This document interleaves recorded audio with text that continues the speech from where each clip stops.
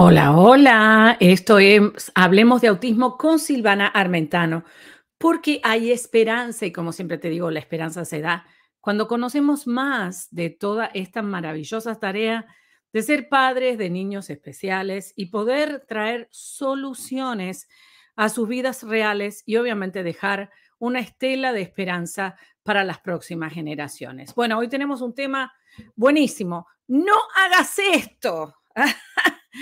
criando a tu hijo con autismo, wow. Y, claro, muchas veces te dice, la gente te dice, hace esto, hace esto, hace esto, pero no te dicen lo que no tenías que hacer. Hoy te voy a enseñar 10 cosas que no tienes que hacer, no solamente con tus hijos, con tus hijos especiales o tu hijo que tenga alguna necesidad con autismo, sino con cualquier niño. Recuerdo que este contenido puede ser aplicable a cualquier situación de crianza. Bueno, vamos a la número uno entonces.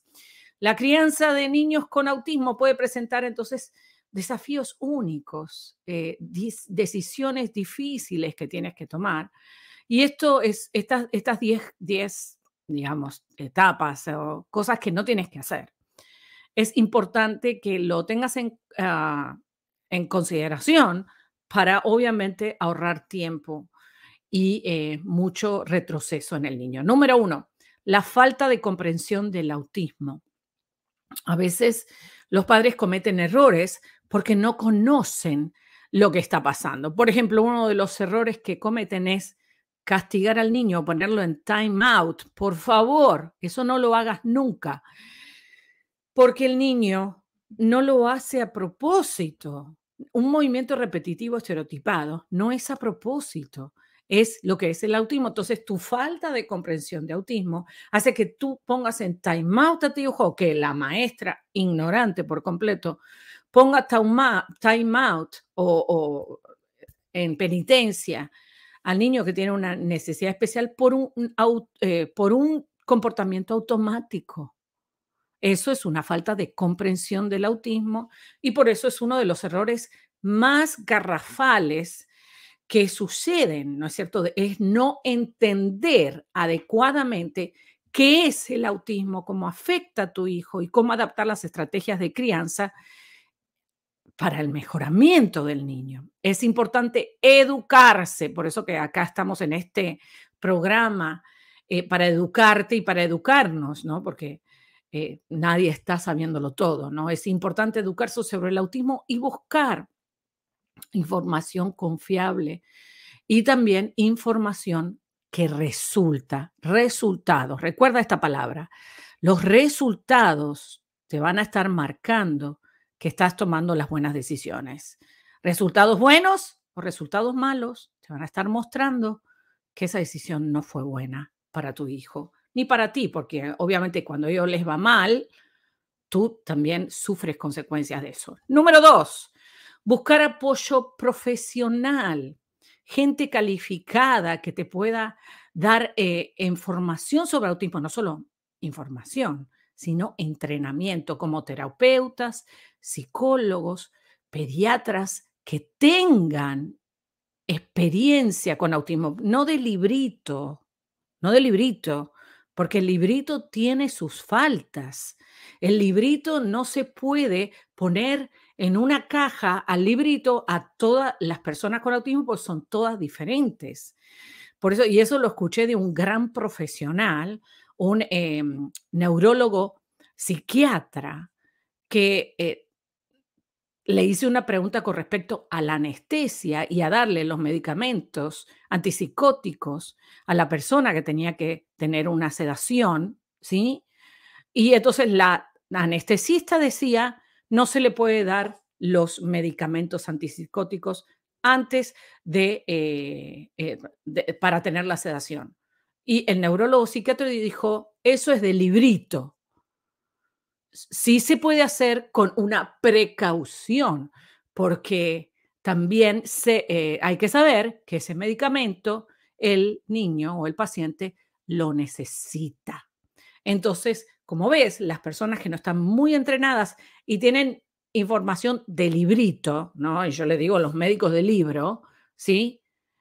No tienen experiencia, o sea, tienen que tener obviamente el libro y el estudio, pero tienen que tener una experiencia de resultados. Eso es el mejor profesional. Entonces, también te tiene que proporcionar orientación, estrategias efectivas para la intervención. No buscar ayuda profesional puede limitar el desarrollo y el bienestar de su hijo y retrasarlo más todavía, ponerlo en peligro, su desarrollo, porque en los primeros años de edad es cuando más se puede corregir el autismo, es cuando más se puede eh, hacer mucho más tarea, porque todavía el cerebro está blandito, ¿sí? todavía se están generando los pathways, están creciendo los pathways del cerebro. Así que hay mucho trabajo que hacer, por eso si no lo hiciste hasta ahora, nunca es tarde para empezar, pero más temprano empieces, mejor, ¿no es cierto? Número tres, ignorar las necesidades sensoriales. ¿Y por qué digo esto?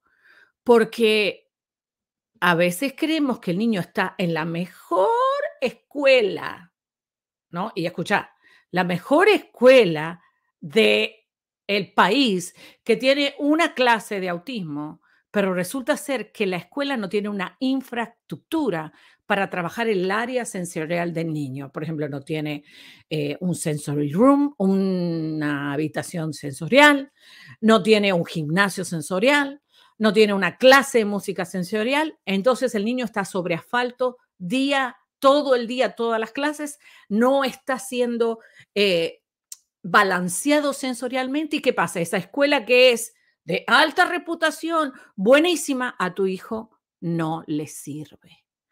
¿Por qué? Porque tú estás poniendo la esperanza en la escuela y no en el progreso que tu hijo puede dar, a lo mejor no en una escuela tan bonita y tan bien pintada, pero que tiene los recursos para qué? Para dar para para suplir las necesidades sensoriales de tu hijo. Los niños con autismo a menudo tienen esta sensibilidad sensorial en los ruidos, el aire acondicionado, si no está limpio, le da alergia. Ignorar estas necesidades y exponerlo a estímulos que le resultan incómodos y abrumadores puede generar ansiedad, dificultades en su comportamiento y un retraso notable en su desarrollo. El niño no va a aprender porque va a estar sensorialmente todo desbalanceado. Entonces, no se va a poder educar a ese niño. Entonces, por eso es muy importante que no hagas eso. Número cuatro, establecer, no hagas esto, por favor, no establezcas expectativas poco realistas, tampoco pesimistas, ¿no? Yo no quiero decir de que no tengas fe y esperanza, claro, de eso se trata Music Hope, de que tengamos esperanza, pero no te pongas una expectativa demasiado alta, porque entonces te frustra después si no lo logras, ¿no? Así que establece expectativas realistas, ni pesimistas, ni súper, tú sabes, eh, eh, expectativas demasiado altas que el niño no las pueda lograr. Es importante reconocer y aceptar las fortalezas que tiene el niño, pero también las limitaciones individuales y lo que le gusta y no le gusta. Establecer expectativas poco realistas puede generar mucha frustración, señores, y afectar negativamente la autoestima del niño. Claro, porque mamá va a estar frustrada, porque el niño no alcanzó el ideal que mamá tenía. Por eso las expectativas hay que ponerlas en conjunto con el equipo para diseñar expectativas realistas a un tiempo considerado de acuerdo a la velocidad que el niño está aprendiendo, no que los padres quieren. No podemos ser tan exigentes y tan eh, eh, eh, egoístas, ¿no es cierto? Número cinco, no hagas esto, por favor. Y esto es muy peligroso, el no implementar las rutinas y la estructura que el niño necesita. Esto es muy peligroso eh, a veces yo encuentro padres que dicen, ah, hoy no hizo nada el niño, ay, pero por favor, ¿y la estructura dónde está? La estructura la necesitan de por vida y todos necesitamos estructura, todos manejamos mejor con estructura, manejamos mejor la vida con estructura. Los niños con autismo tienden a beneficiarse de rutinas y estructuras. Acuérdate las tres cosas que te enseñé tan importantes, la número uno, la consistencia, la estabilidad y la, em, Estructura, justamente. Esas son las tres más importantes cosas que tienes que desarrollar a lo largo de la vida de la persona con autismo. Entonces, el no proporcionar un ambiente predecible y consistente puede generar ansiedad, dificultades en su comportamiento, autoagresiones, puede destapar eh, cosas que tú no quieres. Así que es importante mantener la estructura. Número seis, no fomentar la comunicación. Dar por sentado que el chico no habla, no entiende nada. ¿Quién dijo? Entienden más de lo que te imaginas. No, el dar por sentado porque no pronuncia bien, jamás va a pronunciar bien. Eso no es así. Pues si trabajas duro, puede ser que pronuncie muy bien. Es que tú eh, eh, no fomentas la comunicación porque, claro, como no te va a responder, ¿qué, tiene que ver? Te puede responder de una forma no verbal. La comunicación no solamente se limita a la parte hablada, sino a todo lo que es comunicación. La comunicación es un área clave en el desarrollo de niños con autismo. No proporcionar estrategias de comunicación alternativas, por ejemplo, un communication device, una, una computadora de comunicación, como el uso de imágenes, de PECs y sistemas de comunicación aumentativa y alternativa, puede dificultar su capacidad para expresarse y relacionarse con los demás y estar en peligro porque no va a saber pedir ayuda. Número siete, no considerar otro peligro que no tienes que hacer, no considerar el estilo de aprendizaje individual. ¿Qué es esto? Tú quieres poner al niño en que pase eh, todos los grados a la misma velocidad que lo pasa un niño neurotípico. Y no estás considerando que el niño va a otro ritmo. Entonces, cada niño con autismo tiene un estilo de aprendizaje único y una velocidad única.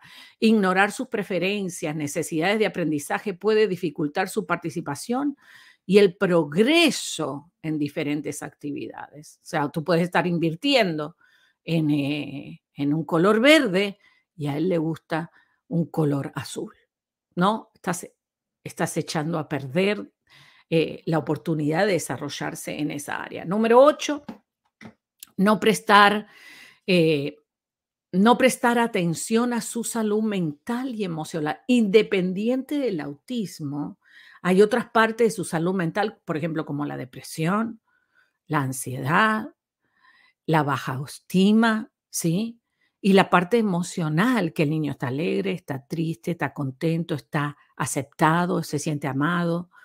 Los niños con autismo pueden enfrentar desafíos adicionales en términos a la salud mental, no solamente el autismo, y en la salud emocional. Por eso no abordar estos aspectos y brindar apoyo emocional adecuado puede tener un impacto negativo en el bienestar general del niño. Mira cuánta información, ¿no?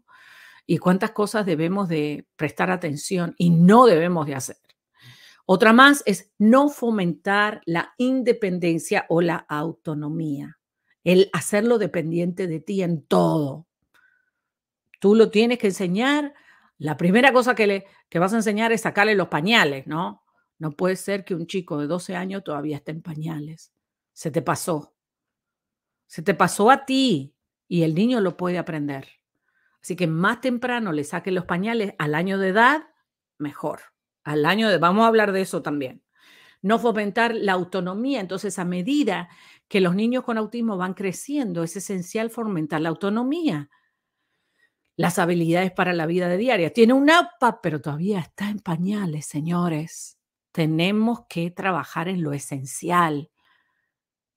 El iPad no es esencial, pero el pañal sí sacarle el pañal a la temprana edad es muy importante. Entonces, no brindar oportunidades para que desarrolle habilidades de autocuidado y autonomía puede limitar su independencia a largo plazo. Claro, todos los casos no son iguales, ¿no? Hay algunos que lamentablemente tienen que usar pañales porque hay otras cosas aparte del autismo, ¿no? Número 10, descuidar el autocuidado y el apoyo personal la crianza de un niño con autismo puede ser agotadora, y créeme que lo sé, física y emocionalmente. Entonces, no cuidar de sí mismo y no buscar apoyo personal puede afectar la capacidad de un cuidador efectivo y compasivo. O sea que si tú, aparte de que cometes errores en la crianza, no te cuidas a ti misma, también eso es un error porque el niño te necesita saludable, el niño te necesita eh, que aprendas todos los días, que tomes decisiones por él. Por eso es importante también cuidarse. Espero haberte dado 10 de las cosas que no hagas, por favor, cuando estás criando a tu hijo con autismo. Y me gustaría saber tu opinión, me gustaría saber cuántas otras cosas me falta que tú pondrías a la lista. Por favor, me la escribes debajo del video, debajo del blog. Y me encanta que te comuniques conmigo. Acuérdate que, que quiero saber de tu caso. Así que entra a mi página silvanaarmentano.com y haz tu cita gratuita. Ahí en el telefonito amarillo, haz tu cita gratuita para que podamos hablar sobre tu situación y cómo poder ayudarte. Si quieres coach personalizado de autismo para llevar adelante la maravillosa vida de tu persona, de tu, de tu familiar especial, con mucho gusto. Ahí te doy más información cuando haces la cita. Recuerda también eh, suscribirte al canal y darle a la campanita para que no te pierdas nada. Y bueno, y si conoces personas que este contenido le pudiera ayudar, compártelo en todas tus redes. Esto es Hablemos de Autismo con Silvana Armentano, porque hay esperanza. Y recuerda, que la mejor persona para entrenar, educar y llevar adelante a tus hijos eres tú.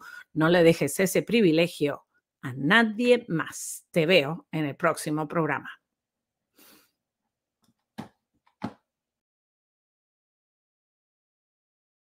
Hijo mío, lo que todo niño con autismo quiere que sepas disponible en todas las tiendas digitales o en silvanaarmentano.com. Ordena tu libro en español o inglés al 786-558-3777 o en todas las tiendas digitales o en silvanaarmentano.com. Identifica el autismo y vénselo. Hijo mío, lo que todo niño con autismo quiere que sepas.